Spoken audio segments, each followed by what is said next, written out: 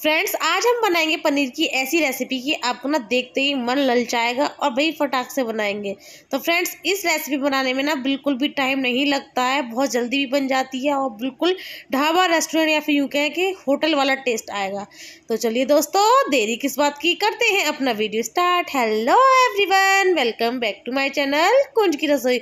So दोस्तों, बनाते हैं बिल्कुल ढाबा रेस्टोरेंट जैसी पनीर की new recipe so so friends बिल्कुल ढाबा रेस्टोरेंट जैसी पनीर की रेसिपी बनाने के लिए सबसे पहले यहाँ पे हमने डेढ़ सौ ग्राम पनीर ले लिया था, इसको लंबे साइज़ में कट करा है। तो आज हम सारी चीज़ें ही लंबे साइज़ में कट करेंगे। तो फ्रेंड्स यहाँ हमने पनीर भी कट कर लिया लंबे साइज़ में और यहाँ पे मैंने टमाटर भी लंबे साइज़ में कट करे तो यहाँ पे मैंने दो तीन टमाटर ले लिए थे और लंबे साइज़ में कट करें और यहाँ पे मैंने डेढ़ ले ली थी शिमला मिर्च, उसको भी हमने लंबे साइज़ में पतली पतली काट ली थी। और फ्रेंड्स यहाँ पे मैंने तीन प्याज ले ली थी। तो प्याज भी मैंने लंबे साइज़ में कट करी है। तो चलिए दोस्तों, सारी चीज़ें अब रेडी हो चुकी हैं। तो चलिए अब चलते हैं गैस की तरफ़ और फटाक से ये रेसिपी बनाते हैं।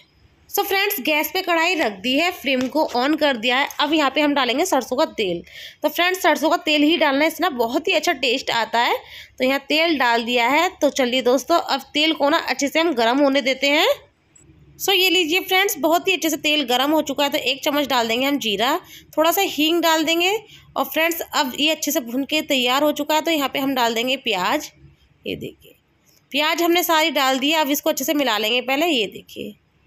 तो फ्रेंड्स हमें प्याज ना ज़्यादा नहीं भूननी है, हमें थोड़ी सॉल्टी करनी है। अब हमने ना चार पाँच ले ली थी, लहसुन की कलियाँ, वो मैंने अच्छे से कद्दूकस कर ली थी तो मैं ये ले लूँगी और फिर डाल दूँगी इसमें।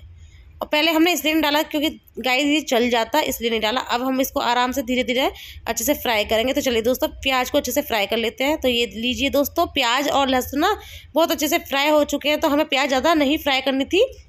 अब हम यहाँ पर ले लेंगे शिमला मिर्च और शिमला मिर्च डाल देंगे और इसको अच्छे से हम पहले मिला लेंगे। ये देखिए तो चलिए दोस्तों, अब हम क्या करेंगे? जो शिमला मिर्च है ना, उसको भी ज़्यादा भूनेंगे नहीं, हम इसको सॉल्टी कर लेंगे। तो फ्रेंड्स आप देख सकते हैं, शिमला मिर्च भी अच्छे से सॉल्टी हो चुकी है। ये देखिए, बहुत ही बढ़िया लग रही है देखने में। ये देखिए। तो चलिए दोस्तों, अब क्या करेंगे? यहाँ पे जो हमने टमाटर कट करके रखे थे ना, टमाटर भी डाल देंगे और इनको भी अच्छे से मिला लेंगे। तो फ्रेंड्स इस तरीके से बनाएँगे ना तो बहुत ही बढ़िया ये रेसिपी बनती है। बहुत झटपट बन जाती है, बिल्कुल भी टाइम नहीं लगता है। तो चलिए दोस्तों, इसको भी थोड़ी देर के लिए अच्छे से भुनने देंगे टमाटर को। सो so फ्रेंड्स ये लीजिए, टमाटर भी बहुत ही अच्छे से भुन के तैयार हो चुके हैं और सारी चीज़ें परफेक्ट तरीके से हो चुकी हैं। तो अब यहाँ पे हम ड्राई मसाले ऐड करेंगे। तो सबसे पहले एक चौथाई चम्मच ले लेंगे हम हल्दी पाउडर और फ्रेंड्स यहाँ पे हम लेंगे कश्मीरी मिर्च, आधी चम्मच और आधी चम्मच ही ले लेंगे हम धनिया पाउडर और यहाँ पे स्वाद अनुसार लेंगे नमक। जैसा आप नमक खाते हो ना, आप वैसा डाल सकते हैं। तो यहाँ पे नमक भी डाल दिया है हमने। अब फ्रेंड्स क्या करेंगे यहाँ पे? एक छोटी चम्मच चिली फ्लेक डाल देंगे। इससे ना देखने में बहुत ही बढ़िया लगेगी। रेसिपी और स्वाद भी अच्छा आता है। तो चलिए दोस्तों, सारे मसाले ऐड हो चुके हैं तो अब इसको अच्छे से हम मिला लेंगे। ये देखिए। तो चलिए दोस्तों, अब मैं ना इस मसाले के साथ ना अच्छे से पहले एक मिनट के लिए भून लूँगी। सो फ्रेंड्स ये लीजिए, एक मिनट हो चुकी है और जो हमारे मसाले ना बहुत ही अच्छे से भून के तैयार हो चुके हैं सारी वेजिटेबल्स में।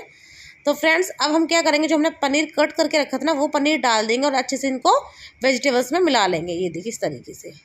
तो गाइज़ आपको आराम से ही करना है, क्योंकि जो पनीर होता है ना, वो थोड़ा सॉफ्ट होता है और कढ़ाई भी बहुत ज़्यादा गर्म हो रही थी तो मैंने कपड़े से पकड़ के तब इसको अच्छे से मिलाऊँगी इस तरीके से, ये देखिए।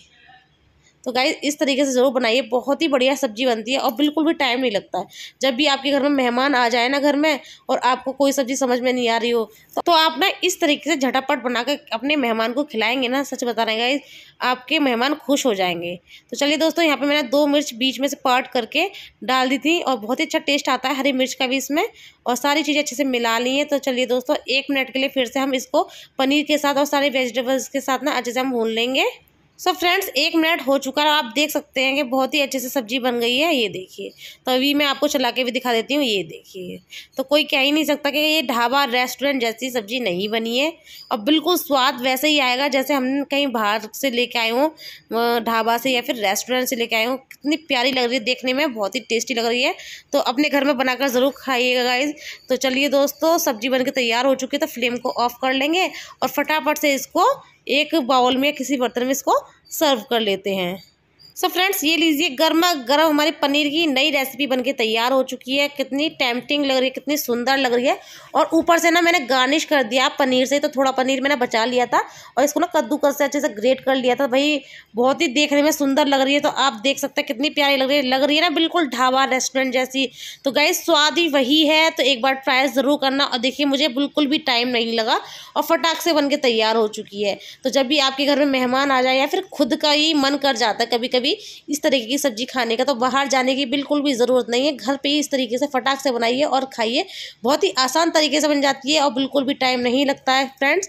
तो फ्रेंड्स, आज की हमारी ये पनीर की रेसिपी आपको कैसी लगी, अच्छी लगी तो प्लीज़ गए चैनल को सब्सक्राइब करना और भाई भर भर के लाइक कर देना, कमेंट बॉक्स में ज़रूर बताना कि हमारी ये पनीर की नई रेसिपी आपको कैसी लगी। ज़्यादा से ज़्यादा शेयर करना ताकि बाकी लोग भी अपने घर में बनाकर खा सके और इन्जॉय कर सके। फुल वॉच करने के लिए वीडियो दिल से थैंक यू सो मच बड़े हो तो आशीर्वाद दे, ढेर सारा प्यार दे। मिलेंगे नेक्स्ट वीडियो के साथ न्यू रेसिपी के साथ। तब तक के लिए bye take care love you all